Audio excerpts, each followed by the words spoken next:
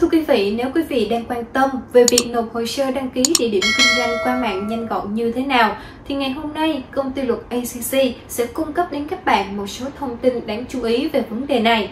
Một, Địa điểm kinh doanh là gì? 2. Thủ tục thành lập đăng ký địa điểm kinh doanh qua mạng 3. Thời gian giải quyết hồ sơ Theo khoản 7 điều 3 Nghị định số 52-2013 Địa điểm kinh doanh là cơ sở cố định để tiến hành hoạt động kinh doanh, không bao gồm cơ sở cung cấp tạm thời hàng hóa hay dịch vụ. Như vậy, địa điểm kinh doanh có thể hiểu là một đơn vị phụ thuộc vào doanh nghiệp, là nơi mà doanh nghiệp có thể tiến hành hoạt động kinh doanh. Hồ sơ bao gồm thông báo thành lập địa điểm kinh doanh, bản sao hợp lệ chứng minh nhân dân, căn cước công dân, hộ chiếu, giấy chứng nhận đăng ký kinh doanh, giấy ủy quyền cho người nộp hồ sơ, tờ khai thông tin người nộp hồ sơ. Cách nộp hồ sơ, có hai cách nộp hồ sơ đăng ký địa điểm kinh doanh là đăng ký qua mạng và nộp trực tiếp tại Sở Kế hoạch và Đầu tư. Cách 1. Nộp hồ sơ đăng ký địa điểm kinh doanh qua mạng. Đăng ký tài khoản đăng nhập hệ thống tại Cổng Thông tin Quốc gia về đăng ký doanh nghiệp qua link đăng ký qua mạng.dkkd.gov.vn. Bước 1. Chọn phương thức nộp hồ sơ. Nộp hồ sơ bằng chữ ký số công cộng nộp hồ sơ bằng tài khoản đăng ký kinh doanh.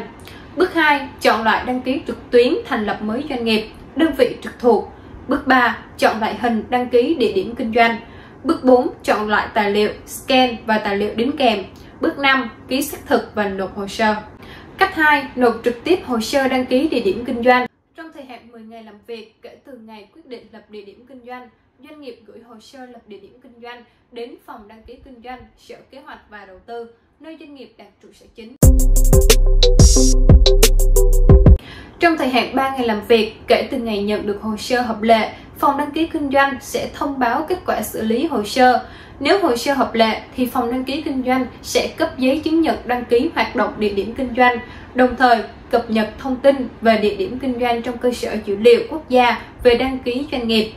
Nếu hồ sơ không hợp lệ, phòng đăng ký kinh doanh sẽ ra thông báo về việc sửa đổi bổ sung hồ sơ và các bạn nộp lại hồ sơ, sửa đổi bổ sung, sau đó chờ kết quả như ban đầu. Trên đây là những thông tin mà công ty luật ACC cung cấp đến các bạn về hướng dẫn nộp hồ sơ đăng ký địa điểm kinh doanh qua mạng. Nếu bạn vẫn còn thắc mắc thì hãy liên hệ với chúng tôi để được hỗ trợ tốt nhất.